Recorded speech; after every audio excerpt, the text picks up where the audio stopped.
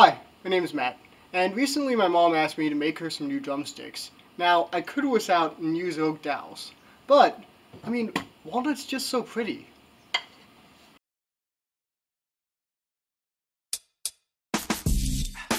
Now, once you get this in the chuck, it's time to start turning. I'm going to start at the back end and turn into the chuck, making shearing cuts. And every time that I adjust my tool rest, I want to create a stop so that way I don't get massive splinters.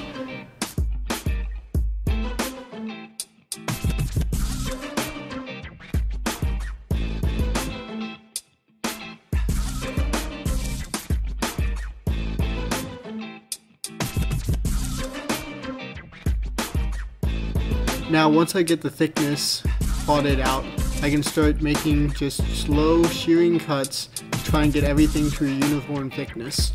And you just want to turn down a little bit more than making these 3 quarters of an inch round.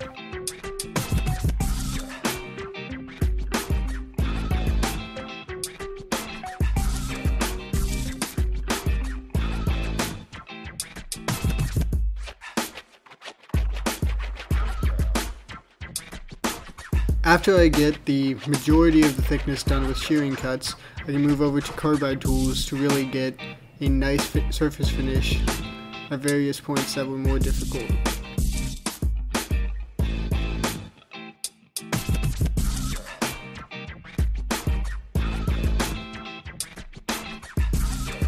And throughout this process, I'm just comparing this to another drumstick to use as reference. Now once I'm done with the handle, I just need to work on the ends and the tip.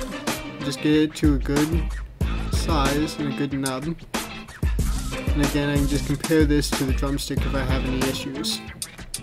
And once I have the handle done well, I can work on the back end and get it looking pretty.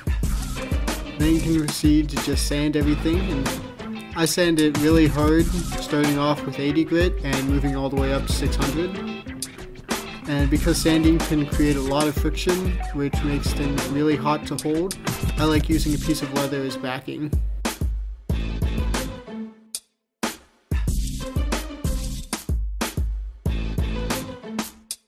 Whenever I'm essentially turning things between centers, and especially if it's really thin, I like to apply pressure from the back end. That way it doesn't end up snapping into while I'm turning.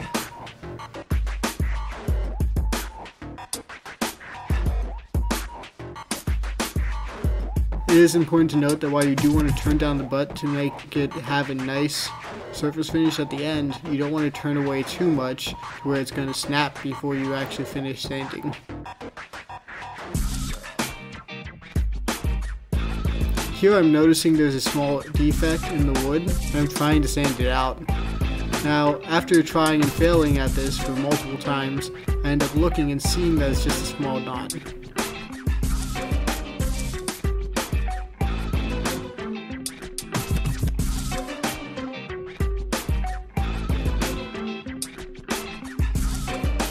And I'm nearly done. Just finishing off with my final grit.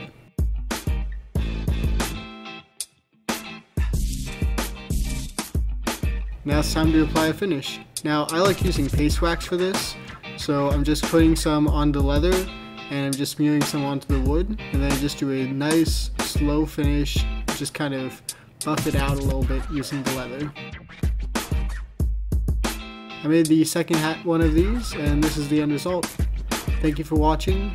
Please like and subscribe, and if you could leave a comment, that would really help me out. Thank you, and goodbye.